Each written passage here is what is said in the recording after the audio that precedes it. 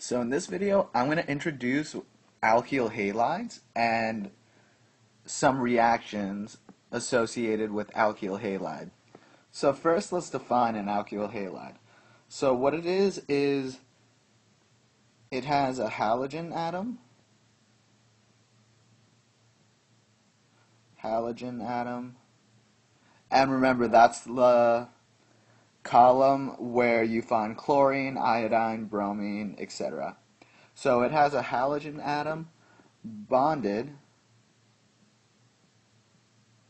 to an sp3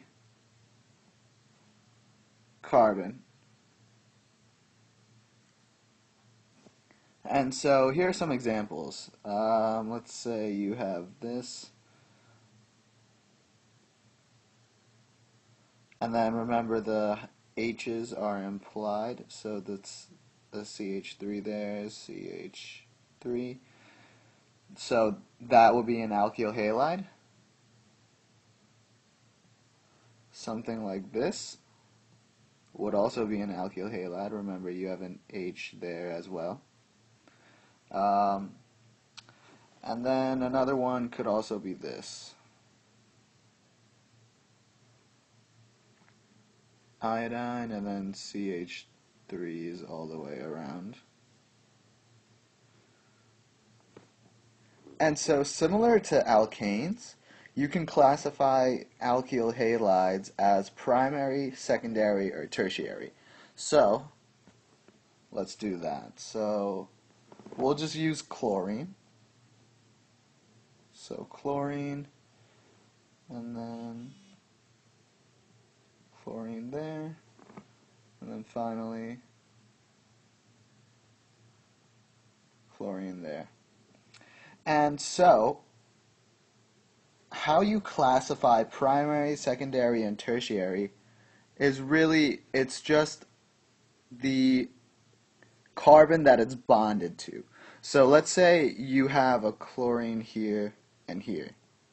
So you have to look at the carbon that is bonded to. So you're going to look at that carbon, that carbon, and that carbon. And so primary means that the carbon in blue that you're looking at is only bonded to one other carbon.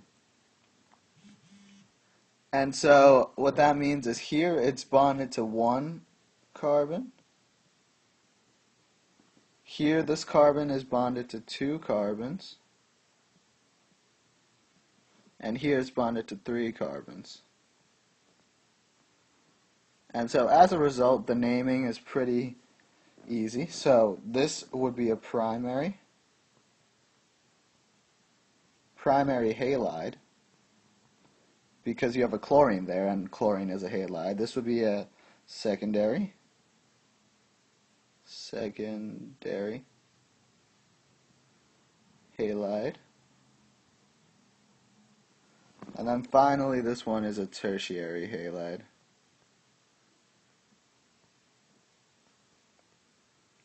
And you can't have more than uh, three, like a tertiary halide, because the carbon can't bind to four carbons and uh, chlorine, because it can only have four bonds. And so one thing we really have to remember is the structure of the alkyl halides. So we'll talk about that.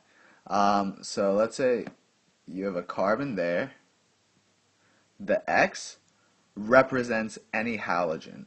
So let me just do that in blue. X is commonly used to designate halogens. So X is halogens.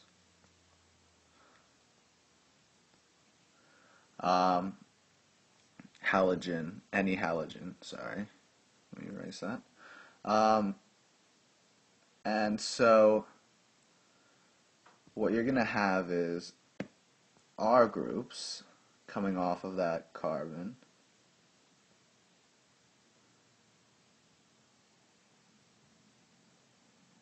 And so R can either be a carbon or a hydrogen.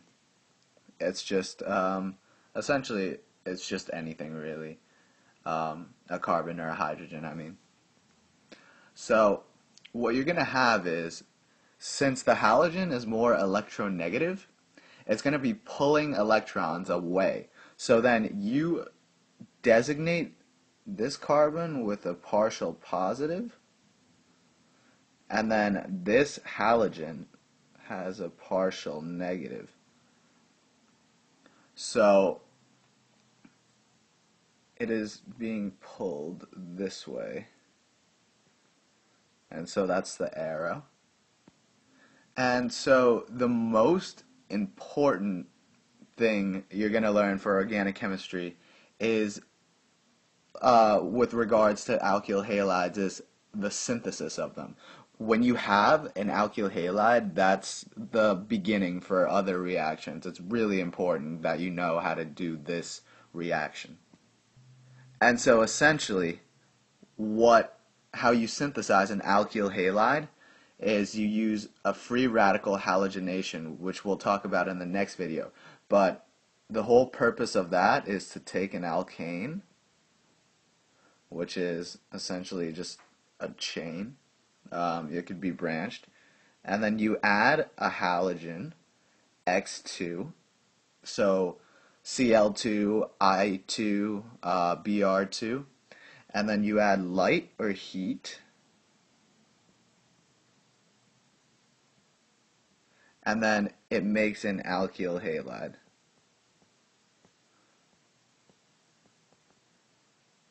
So something like this, for example. Um, I'll, we'll discuss this more in the next video, but this is um, free radical halogenation and alkyl halides are really important. Uh, they're a really important fundamental thing for organic chemistry. And so I hope you found this video helpful. If you did, please give it a like and share it with your friends.